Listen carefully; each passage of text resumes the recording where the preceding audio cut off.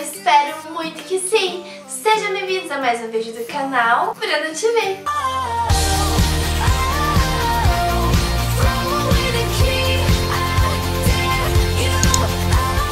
Hoje eu vim aqui com um vídeo, gente, que eu nunca fiz no canal, só que eu sei que é muito utilidade pública, porque assim como eu, eu tenho certeza que vocês ficam lá passando horas no Instagram, olhando aquele pesquisar, até que vocês barram num vídeo tutorial das gringas, né? Aí a gente sempre assiste, porque a gente sempre quer saber o que tá acontecendo com cara, no cabelo, e fala, cara, será que isso realmente dá certo? Mas não vou testar não, vai que não dá certo. Eu vim aqui hoje pra resolver seu problema, vamos testar 5 truques que eu vi em tutoriais do Instagram de gringas e vamos ver se funciona ou não, não é mesmo? Já vou adiantando que essa maquiagem foi basicamente feita com os truques e que uma delas eu não recomendo nunca jamais fazer e que uma delas é meio desnecessária, mas dá super certo. Já adiantando, gente, esse mais um vídeo do Veda 4 em 1 e cujo o tema é truques, por isso que eu resolvi trazer esse vídeo, beleza? No canal das meninas da Gabi, da Carol, da Mandinha vai ter vídeo também de truques, só que com com um vídeo totalmente diferente. Então eu espero muito que vocês gostem, que vocês delas depois que terminar o meu. Vai estar aqui na descrição, no final do vídeo e aqui nos cards, beleza? É isso, se você for novo por aqui, não deixe de se inscrever, não deixe de clicar no gostei, seja super bem-vinda e continue acompanhando os vídeos do Veda, beleza? Então é isso, gente, vamos lá pro vídeo. Bom, gente, no primeiro truque, elas usam máscara preta com argila. Eu achei muito interessante e aí parecia que deixava a pele delas mais bonita, mais macia, mais porcelana. E aí eu resolvi fazer essa mistura também, confesso que tô com medo, porque máscara preta gruda que é uma coisa. Então eu vou misturar aqui, vou colocar um pouco seja o que Deus quiser. Gastei 30 litros de máscara preta. Eu vou colocar um pouco de argila torcer pra não cair na minha cama. E aí ela mistura, passa no rosto. Gente de Deus. Ficou igual do vídeo. Agora vamos passar. Pode ser que eu perca esse copo. Parecia que saía sem dor, gente. Vamos lá. Ai, não tá com cara de que vai sair sem dor.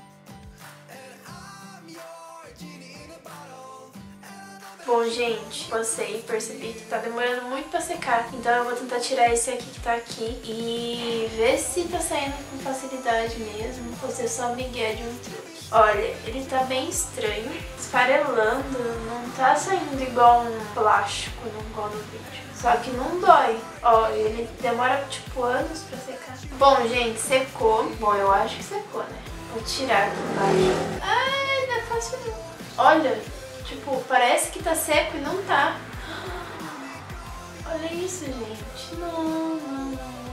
É, gente, ele tá saindo mais fácil, mas não tá muita coisa diferente do que ele era antes, não.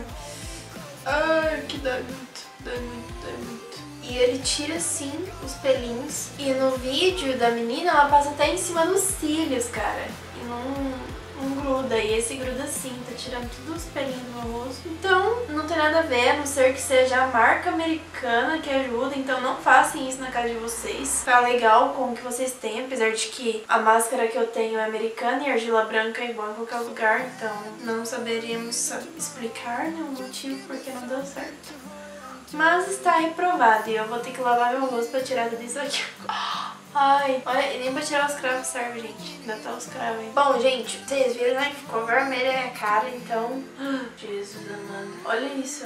Tá muito vermelho. Tá muito vermelho. Não façam isso em casa, por favor. Bom, gente, eu passei aqui um, um creminho pra acalmar minha pele, porque ficou muito vermelho, olha isso. Oh, horrível. Mas eu vou pro segundo truque, que é colocar papel filme, plástico filme, não é papel isso aqui plástico na sua Beauty Blender. Tem gente colocando outras coisas, como preservativo, e eu achei um pouco nojento e nada necessário fazer isso, então eu vi um truque que eles usavam plástico filme e resolvi testar. Você pega um pedaço, coloca a sua Beauty Blender,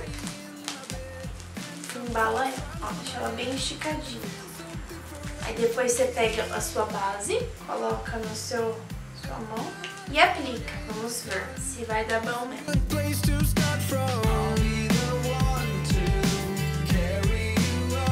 Então, gente, vai estar tá passando um carro de churros aqui atrás, não se incomodem. Eu achei que tá super aprovado, por incrível que pareça. Dá pra ver, não sei se dá pra ver um pouco das manchas do, do experimento anterior, né? Mas meio que tampou bastante. Pra mim tá super aprovado, é bem facinho, mas não sei se é necessário usar a não ser que você não queira sujar sua Beauty Blender, né? E você pega, tira o saquinho, joga fora, a Beauty Blender fica limpinha. É bacana essa ideia, eu não tinha pensado nisso. Mas ó, não economizou muita, muita base não, então não fede nem cheira, gente. Tá aprovado, mas desnecessário. Agora, o próximo vai ser de como tirar as casquinhas da boca. No caso, você vai passar o seu lip balm manteiga de cacau. Esse ele fica rosa, viu, gente? Aí você vai pegar essa escovinha de sobrancelha e vai passar na boca.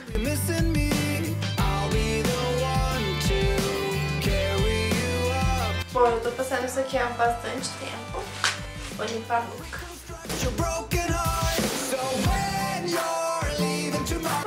Ele deixa os pelinhos assim saindo já e depois você só passa um papel e sai tudo. Olha que legal. Gostei bastante. Nossa, gostei muito. Esse tá aprovado.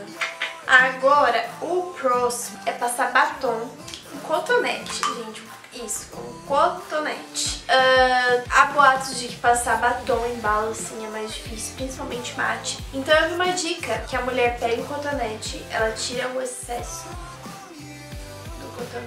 Aí ela passava na água, passava na... Né? Passei na água, né? Muita gente porta igual Aí a gente pega o batom, a gente não, pegava o batom, passava o cotonete no batom. A ideia, gente. Será que isso dá certo? Aí depois ela passava na boca. Gente, é muito fácil pra aplicar o batom, sério, juro. E aí o outro cotonete, você limpa onde você errou. Muito legal, olha. Adorei. Esse aqui tá super aprovado. Isso aqui é pra levar pra vida essa dica. Muito, muito bom. Agora, o próximo, gente, é passar sabonete na sobrancelha. E você vai molhar o pincel. Pode passar na língua, né, mãe? Vou passar na língua. Aí você passa no sabonete as ideias, gente. Meu Deus do céu. Aí você passa na sobrancelha.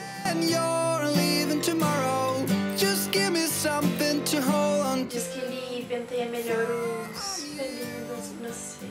Vamos ver, né? Aí depois a gente pega a sombra e faz a sobrancelha normalmente.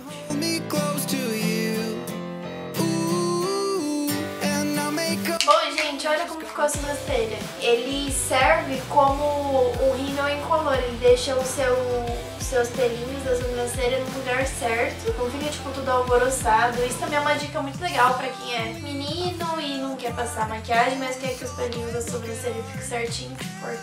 E é isso, gente. Eu acho que eu aprovei. Não, eu só reprovei a máscara preta com argila. De resto, todas as outras funcionaram. E a da Beauty Blender com plástico filme também é desnecessário. Então, de cinco truques, três foram aprovados. E eu espero muito que vocês tenham gostado. Se vocês gostaram, já cliquem no gostei, tá bom? Não esquece do gostei. E não esqueçam de ir no vídeo das meninas, que tá no final do vídeo, aqui nos cards e aqui na descrição. É isso, gente. Se for novo por aqui, não deixe de se inscrever, não esquece. Até o próximo vídeo e tchau!